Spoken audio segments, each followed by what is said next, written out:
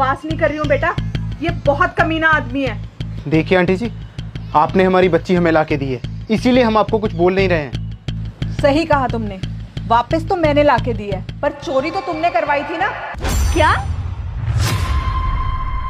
उस चोर ऑटो वाले ने ना मुझे सब कुछ सच सच बता दिया है। ला बुढ़िया ये बच्चा मुझे दे चुपचाप। नहीं ये किसी और का बच्चा है मैं तुझे नहीं दूँगी। जितना बोल रहा हूँ उतना कर चुपचाप ये बच्ची मुझे दे। देख बेटा मैं ना तुझे आखिरी बार समझा रही हूँ। तू ये बच्चा जहाँ से लेके आया ना इसे वहीं वापस छोड़ दे वरना तेरे लिए अच्छा नहीं होगा। मैं भी तुझे आखिरी बार समझा रहा हूँ। नहीं तो?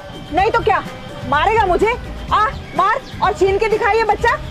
पर मैं तुझे एक बात बता दूँ कि मैं ना पुलिस वाले की माँ हूँ। और जब से तूने ये कांड शुरू किया है ना तभी मैंने अपने बेटे को लोकेशन भेज दी थी। वो आने वाला होगा यहाँ पे।